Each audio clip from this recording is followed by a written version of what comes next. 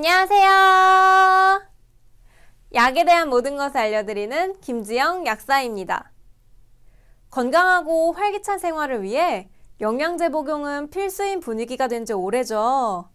주변 분들에게 물어봐도 대부분 한두 가지 영양제는 다들 챙겨 드시더라고요.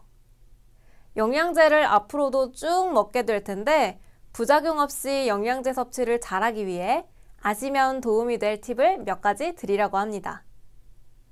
첫 번째로 영양제 부작용 없이 지속하기 위해 제일 중요한 것은 기본 용법을 잘 숙지하시고 그대로 실천하는 것입니다.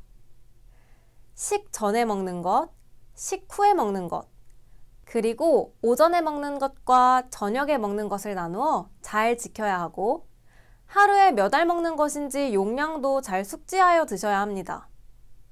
너무 적으면 효과를 충분히 나타내지 못하고 너무 많으면 과해서 문제가 될 수 있습니다. 비타민 B나 C 같은 경우는 더부룩하거나 속이 쓰릴 수 있어서 식후에 드시는 것을 추천드리고요. 비타민 A, D나 오메가3 같은 지용성 영양제들은 식사 후에 섭취할 경우 흡수가 더 잘 돼서 식후에 드시는 것이 좋습니다. 칼슘이나 철분과 같은 흡수율이 좋지 않고 다른 음식 성분들과 상호작용이 많이 일어날 수 있는 영양제들은 될 수 있으면 공복에 드시는 것을 추천드리지만 위장장애가 있을 경우 어쩔 수 없이 식후에라도 드셔야겠습니다. 또 활력을 줄 수 있는 비타민 B군 같은 경우 오전에 드셔야 그 효과를 일상생활 중에 누리고 저녁에 잠을 자는데 방해를 덜 줄 것입니다. 반면 근육과 신경을 이완시켜주는 마그네슘과 같은 영양제는 저녁에 드시는 것도 괜찮습니다. 이렇듯 각각의 영양제들의 최상의 효과를 내고 부작용을 최소화하기 위해 적절한 용법이 있으니 잘 기억해 두었다가 그대로 복용하시는 것이 제일 좋습니다. 두 번째로 영양제에 너무 의지하시는 것은 피하셔야 합니다. 우리 몸의 건강의 기본은 잘 먹고, 잘 자고, 잘 쉬는 것이라는 걸 잊으셔서는 안 됩니다.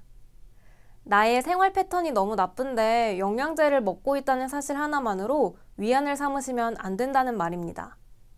무엇이든 자연적으로 음식에서 골고루 섭취할 수 있도록 양질의 식사를 하시는 것이 우선이고 부족한 부분을 영양제로 채우는 것이지 영양제 그 자체가 만능이 아니란 것을 명심해 주세요. 세 번째로 좋은 제품을 선택하여 드셔야 합니다. 저가 제품은 이유가 있습니다. 우선 오메가3 같은 자연에서 추출되는 제품은 좋은 원료를 사용하였는지 확인해 주세요.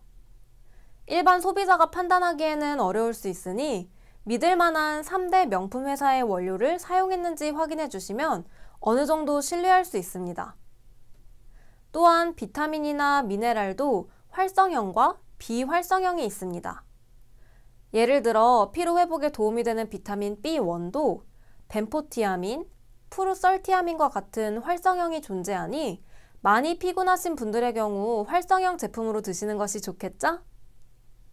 비타민 C 같은 경우 대부분 합성 제품이라 어느 것을 선택하셔도 무방하지만 비타민 E는 천연과 합성 중에 천연을 고르시는 것이 좋습니다. 그 외에 화학 부영제로 무엇을 사용했는지도 중요합니다. 저렴한 이산화규소를 넣은 제품은 우리가 김 먹을 때 먹지 마세요 라고 써있는 방부제 아시죠? 그거랑 같은 것을 넣어 영양제 단가를 낮추는데 저렴하게 구입하였다고 가성비 좋다고 생각하실 수 있지만 대신 우리의 간은 화학 합성물을 분해하기 위해서 더욱 무리하게 된다는 걸 잊지 마세요.